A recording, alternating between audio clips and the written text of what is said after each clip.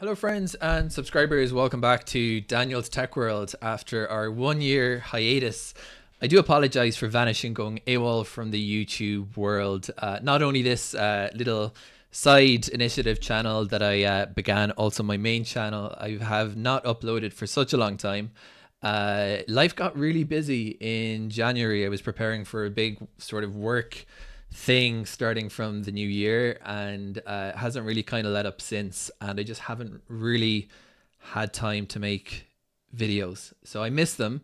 And I just got my new uh, Linux distro set up. So I'm, I'm back in action to some extent. I can do videos again. So I'll be doing some more. Um, I want to also say uh, that um, I hate to not keep my word. And I did undertake the beginnings of an experiment about last year aging mechan- uh, optical media. And much to my amusement and surprise, I get the odd email from someone, usually in Switzerland. Why, why are people in Switzerland so into optical media? Uh, but they are. I guess they're preppers like me, kindred spirits. And they say, Oh, Daniel, uh, when, when, are you going to take in those discs and uh, look at the discs? So the answer is co- it's going to happen very soon. The discs are in. I took them in two weeks ago and I conducted a preliminary inspection of the discs. I can tell you, firstly, it's quite interesting. Definite price correlation evident. The cheaper the media, the worse condition they are. The M discs are holding up not badly. And um, I'm going to, all that's holding me back now, I'm trying to find a really old CD player that I cannot worry about damaging because the discs are in such bad condition that I think they actually might ruin uh, perfectly good and very nice uh, Pioneer hardware that I have. So uh, I will get that and we will do the analysis. Uh, today, what I'm going to do is bring you guys into the rabbit hole of large language models uh, for um, anyone who has followed the odd thing I post on Twitter. I've been really, really doing a huge amount of work with LLMs this year, I would say since about February. And weirdly, it kind of became part of my job to do this uh, began using them for data analysis, data mining, um, data visualization, uh, sentiment prediction. Really, really huge amount of use cases for LLMs beyond the ChatGPT stuff that everyone is uh, exploring. Me equally, it's amazingly great for that, but it can do so much more. And one of the first things I think that really swayed me over to wow, these are actually really, really breakthrough tools was the first time I used an LLM for code generation. It was a YAML script for um, for Home Assistant. I didn't expect it to work, and when it did, I said, "Okay, this is something quite, quite, uh, quite game changing because I can just code a Python script for anything basically if I can get good enough for prompting." So what I thought I would do, I've been meaning to do this for a while now, is record a video where I do exactly that, which is now something that is as routine as making a cup of coffee. I say, oh, I should uh, get a script to do that. Let's put it into a you know ChatGPT or Perplexity or uh, a local LLM or whatever the case may be. So I uh, right now have a script I need to do or want to cook up. So I'm going to show you guys the process of prompting a large language model to generate a little simple utility, but it is pretty cool that it can do this. So let's give it a shot. Okay, so this is the project, and just want to say at the very outset, I have absolutely no idea if this is going to work or not. Like, I haven't tested this.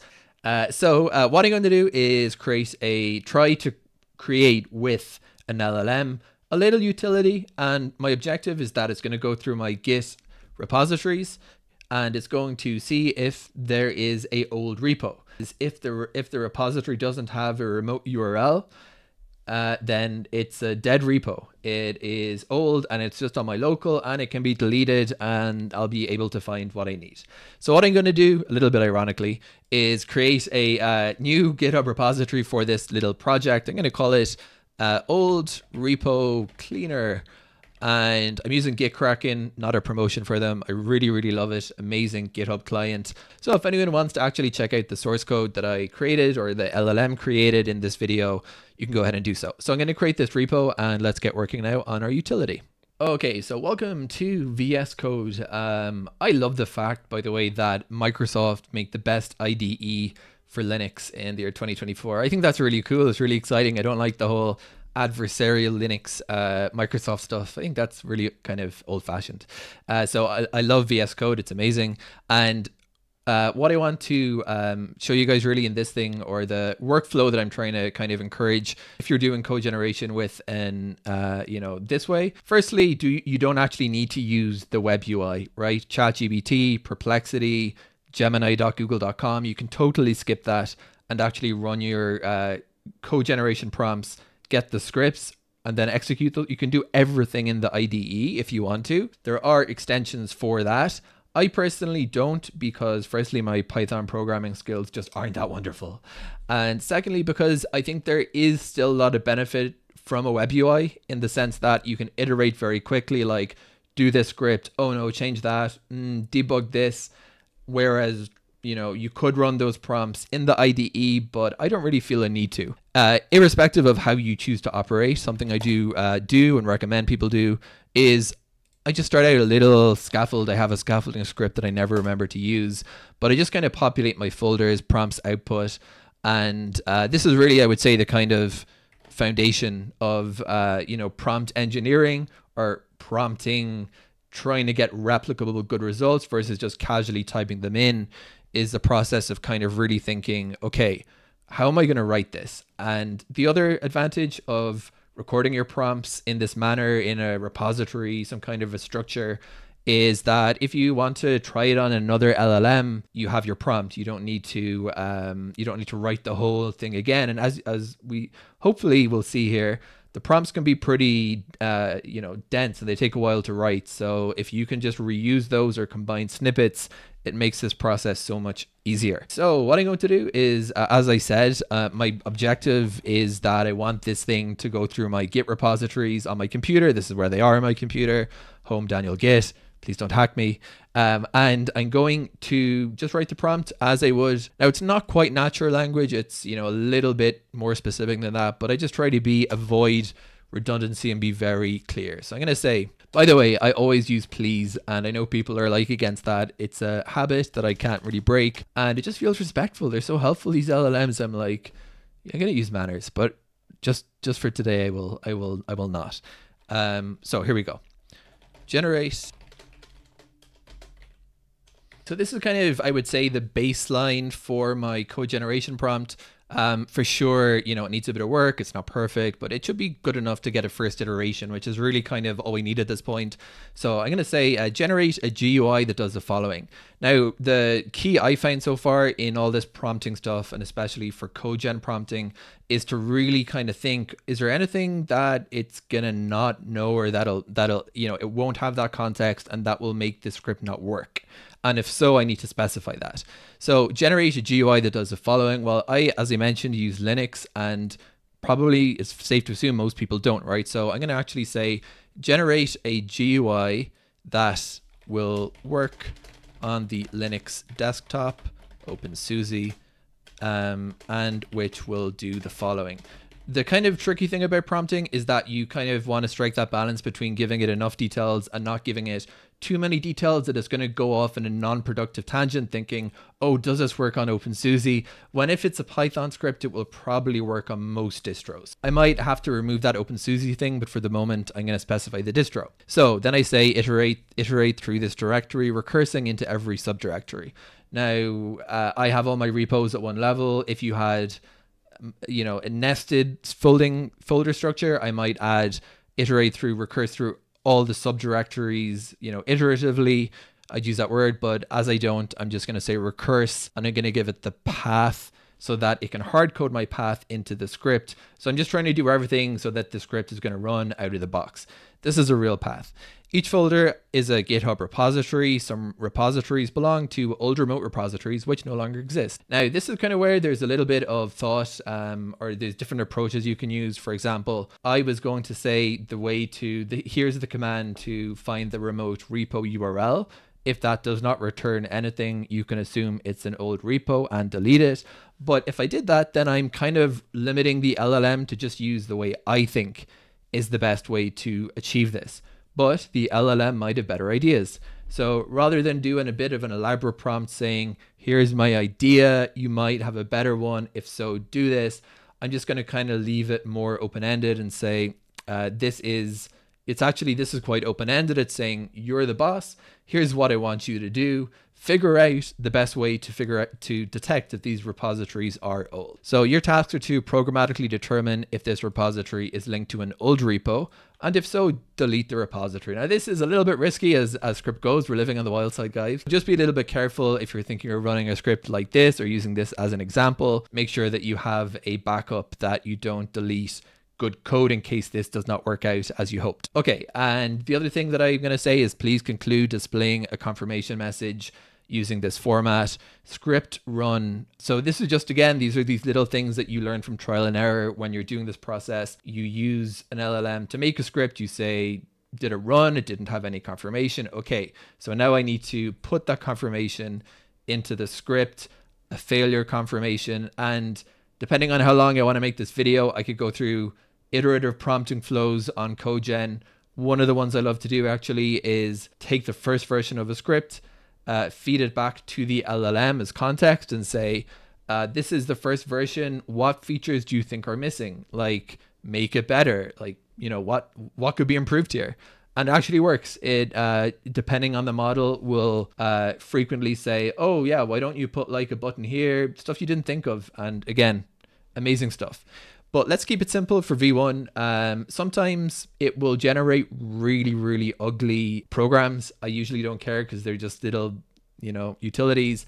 Uh, here, this uh, part of the prompt where I say gener- generate a GUI, just by the way, for Linux people, especially if you prefer working in the terminal, this word can be changed and you can just prompt like this generate a CLI or generate a TUI and you might want to specify terminal user interface if you prefer those tools.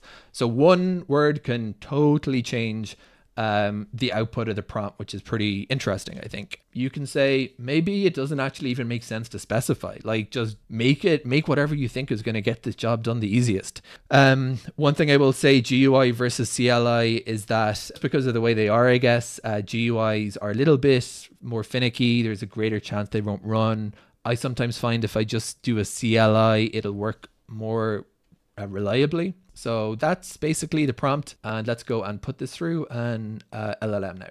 So my original plan was to use uh, Perplexity just because it's what I'm using a lot these days. But I had a change of heart and I said, actually, for this, for demonstrating this process, at least, it probably makes sense to use ChatGPT 4o uh, 4 Turbo with Canvas, um, which uh, is very nice and is, as it says on the tin, uh, designed for code generation. Um, I've used, by the way, the some of the local uh, uh, local locally hosted LLMs for just really fine tuned for programming, especially uh, Python fine tunes. And I haven't had that really much of a difference, or I found 4 Turbo kind of does a better job a lot of the time. So uh, it's just kind of what I tend to use. So what I'm going to do now is literally just copy and paste my prompt into uh, the into ChatGPT here, and let's see how it does on its first go.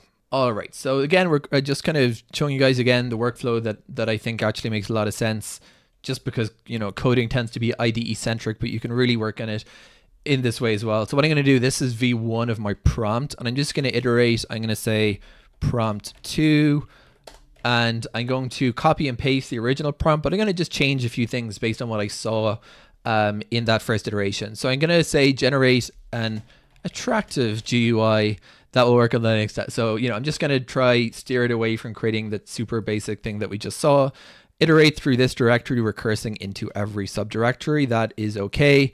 Each folder is a GitHub repo. Some repositories programmatically determine, probably don't need the word programmatically, it is a script, so I'm going to take that out. Determine if this repository is linked to an old repo. Now there's little things in language that can seem very obvious to you or me, but which may not be easy for an LLM to interpret. So uh, linked might be, uh, so I might sometimes do something like this, determine if this repo is linked to an old repo. Um, linked, linked means that the local repository does not have a remote remote re repository because it has been deleted. So I'm just trying to reduce the ambiguity there a little bit. Um, and if so, again, that's a little bit loose. So I'm going to actually specify that. So if that is the case, delete the local repository. Now, what I'm going to do, I mentioned that I didn't like the fact that it just kind of didn't show what was going on. Uh, so I'm going to describe what I want to see in the UI. The UI should include a uh, terminal output which displays um, a verbose output showing what the script is doing. Yeah, I guess that's it really. I just want to see some output. So some this is uh, something I like to put in the, my Python GUI prompts is to just say there should be a terminal there so I can see exactly what's going on. Um, so this might be confusing because in the logic of Python, I might be saying this is an interrupt before. So I'm going to say instead of saying before, conclu before concluding, I'm going to say instead after you have finished deleting the empty repositories, display a confirmation confirmation message using this format. And sometimes I add like uh, go uh, reset the G the UI so the user can do it again. In this case, not so applicable because you don't need to do this more than once at a run, presumably. So that's a V2 on my prompt, and I'm going to just run this again. Um, let's try GPT one more time, and if that doesn't work, let's switch over to uh, Claude. You just see, um, yeah, V2. Let's give this guy a go now. Program. No, I called it GUI.py. Okay, well, step one. Is it better looking than V1? Mm, not so sure. But uh, it has a new button. Uh, it says start cleaning now, and it's got the terminal output here as we requested. So here we go. Okay, so um, yeah, it's you can see that it has actually recursed through all the repositories, uh, but it has determined that there is a remote for everyone. So I'm just going to actually kind of start from scratch again, which means I'm going to just do a new chat and not use that, let that fall out of context naturally. Um, but that's okay. Sometimes I think it's just easier to start from scratch. So I'm just going to, because it's giving the LLM less stuff to work through, right? So I'm just going to say here, this is a script I wrote telling a fib uh, that is designed to do the following. Uh, the intended function is to identify these and then delete them. Now you could actually make the script a bit gentler, like it is running, but it is not ident. So again, the, the trick here is being very, very specific. Exactly what is not working. It is running, but it is not identifying empty repositories. Can you diagnose and debug, then return the full updated script. Now, this is something that I put in, return the full updated script, because I frequently find that, you know, sometimes it'll say just change one, two, three, four, five, six things. And by the time you go through each of the changes one by one, you're like, maybe it could have just given me the script back. So uh, this is something that I find you have to be explicit about requesting that it gives you uh, a new version. So I'm just going to add that in and let's see what happens if I feed this into Perplexity. Okay, so V3, it finally succeeded. Uh, the script was run and I watched it delete three repositories, which isn't bad. One we know about, and I guess two that I kind of held on my system. That makes sense to me that those are the ones.